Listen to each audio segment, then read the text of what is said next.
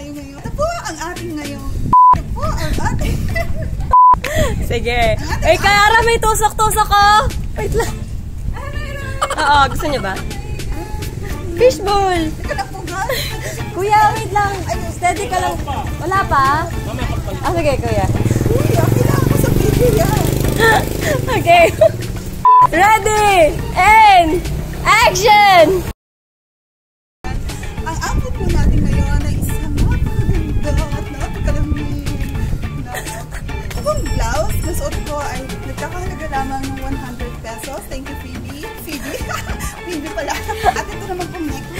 Kilikili mo umiyak. 50 pesos lamang guys. Isa po siyang shells. Ito naman ang tinatawag na SpongeBob SquarePants. Ayan. Napaka-floral. At syempre, meron po tayong bag. Kung mamamalingki kayo, marami kayong mailalagay dito guys. Nagkakalaga lamang siya ng 200 pesos. Ayan. Buksan po natin. Baka may bayawak sa loob. Yung brand po niya ay kayo na pumasa. O magkamali pa ako ng ano, pagkaka-pronounce. Sige, daan lang po. Pagbaba ang mukha.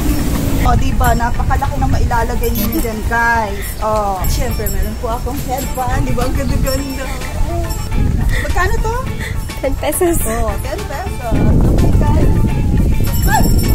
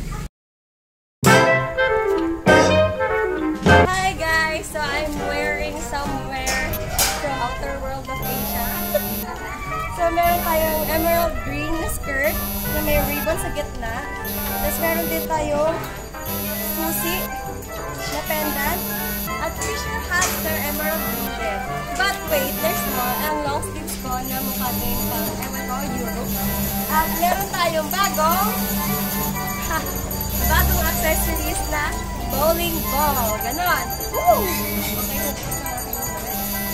Ito po ay nagkahalagang 2,500 pesos lamang. Ito ay bowling ball ni Mama. Tapos, ang brand niya is Power Groove Reactive. So, lapit tayo. Ayan, Power Groove Reactive. Ito po ang ating collection for today. Ang mahiwagang green and white. Ay, meron pa pala. Itong slippers na worth, magkano po ito? Magkano to? 150 na lang. Ito po ay nagkahalagang 150 ang mahiwagang gold na sando. Ayan. O siya may taas.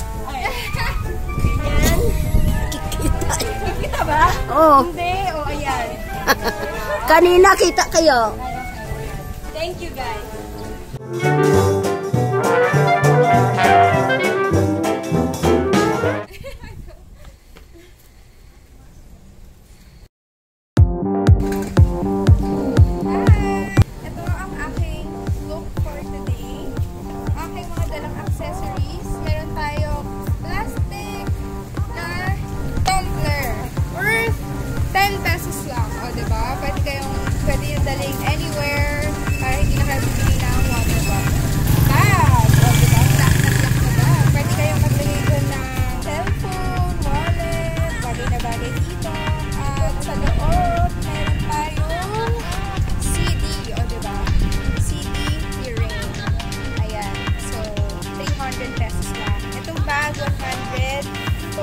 Pesos lang. Tapos, Old Navy na cap, worth 100 pesos lang. At syempre, itong jacket. Ano, meron tayong na leather-ish jacket. Yan, di ba? Pwede, pwede pag nilalamig kayo. At sa loob, meron tayong tan tan tan!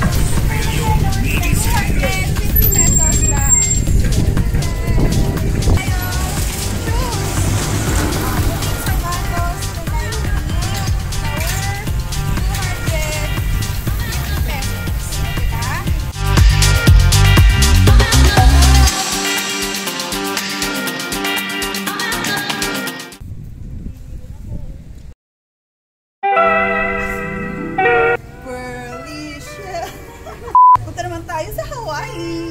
Mag-upisa po tayo sa aking magandang bulaklak na kulay orange. Hoy, nagkakahalagang 5 piso lamang. At ang aking garland ay nagkakahalaga ng 10 piso. Marami po dito. Meron po tayong yellow green at itong pink. Yan. At ito pong damit. At ito,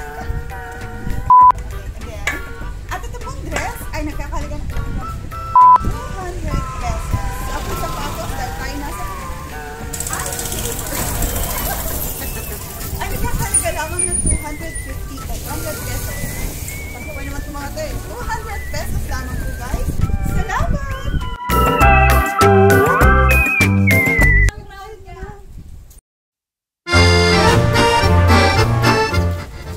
Tayo magluto ng perlas. Ang perlas na ito ay pwedeng lutuin. Joke lang. Ito po ay nagkakahalagang 75 pesos. At itong pouch ay 50 pesos lamang. Madami kinalagay na perlas. Ang madaming malagay. Kung mahilig kayo magkape at maglagay ng cream at ng asukal, bilhin na ang pure, ano ba ito? Ba't parang may gagamba? Pure na kahoy na ito ay nagkakalagang 220. Ayan, natin tayo. Yan, 220 siya ay purong kahoy po. Pwedeng ilagay dyan ang asukal, creamer, and kape. Chef's hat. Meron po tayo chef's hat. Dito naliligaw. Ayan. Ginamit ko ito ni Digong.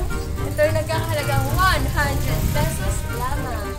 Yan, bagay na bagay sa aking damit na worth 200 pesos. Tapos, akit tayo. Up. Yan. At last, but not the least, ang bracelet nating puro shell. Kung gusto nyo na mga shell or kabibe sa Boracay, huwag mag-alala dahil meron tayo dito sa ating box. Ito ay kakalagang 20 pesos lamang. Sky blue na may white na shells. Okay, ready to go. Let's go to the beach.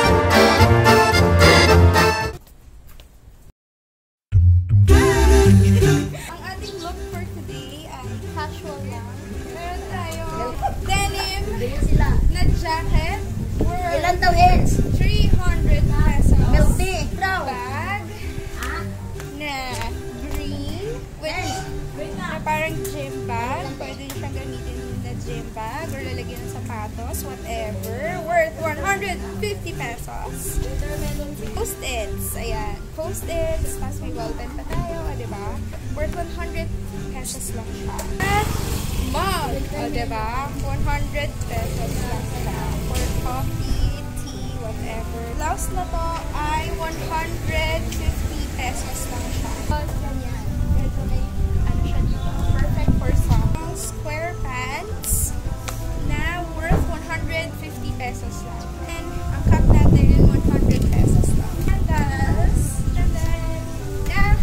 100. Meron tayong mga ano, pa-necklace. Magkano ba to? 20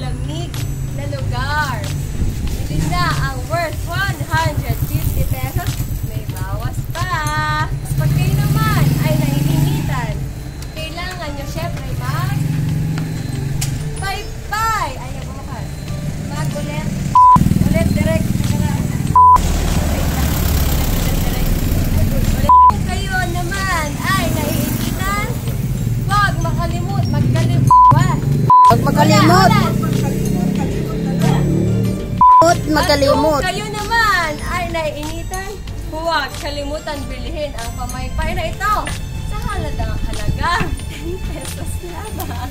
At gusto nyo naman na mag-inom, bilhin na ang worth 100 pesos na sa shot glass. O, so, diba?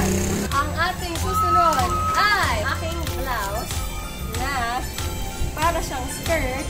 Pwede siya sa mga ayaw makita ang tiyan. Tingnan natin kung ayaw makita ang tiyan. Oh, yan. O, diba? alcohol pa siya. So, there's green